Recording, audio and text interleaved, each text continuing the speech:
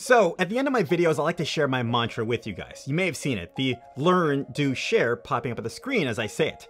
I realized in the beginning I used to do this in a time consuming way that was really cumbersome, messy, and not efficient at all. You know what I'm talking about. If you wanted to do the same, you would probably stack layers and layers of text boxes on top of each other in a confusing mess depending on how long your verbiage was, making your timeline look like a hot mess. Well, I'm gonna show you how to do a simple pop-up text animation that will give you a strong foundation to doing this, so you can get more creative in the future with the same tools. Let's get into it. So I'm in Premiere Pro 2019. I'll leave a timestamp right now for Vegas Pro users so you can do and learn the basics for this in Vegas Pro. This is one of my previous videos and I'll play it for you. Learn, do, and share. Okay, Yeah, you can basically see nothing complex, my voice on track 2, clearly seeing the division of my words and the top text element. So let's recreate this. I'll mute the current version with an Alt-E. And I'll just mute the track as well. Bring my playhead to the beginning of the first word. Click on my text tool and click on the screen. Preferably in the center because this is where I want my text ahead of time. I'll also extend my text graphic to the end of the word where I know I will stop talking. I'll press my caps lock because I know for this example, I want all my caps on. Type in the first word, learn. Then press on the center align text. Now, I want my word to be bigger. Now, I could adjust the size with this slider, but currently it's not going to give me the size that I'm looking for.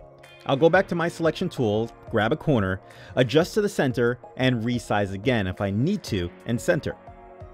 Now I'll go back to my effects controls, go to my source text, and press on the stopwatch so we can animate keyframes for the text. Once it's clicked, you can see how a keyframe came up.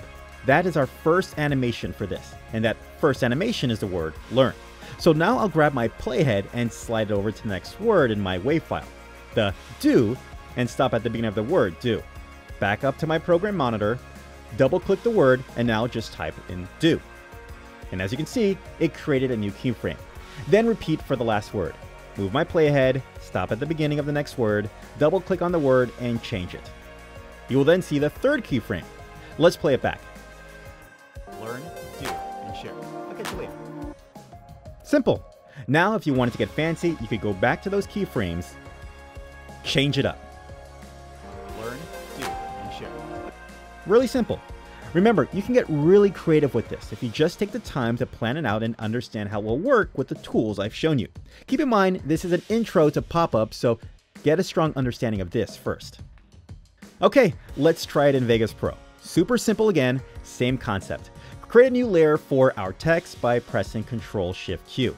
Bring my playhead to the first word, go to Media Generators, Vegas, Legacy, text default. Drag it down, adjust the size of the element, type in your first word, learn, and I'll put the caps on.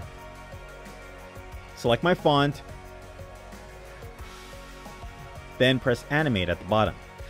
There you can see our first keyframe is already there.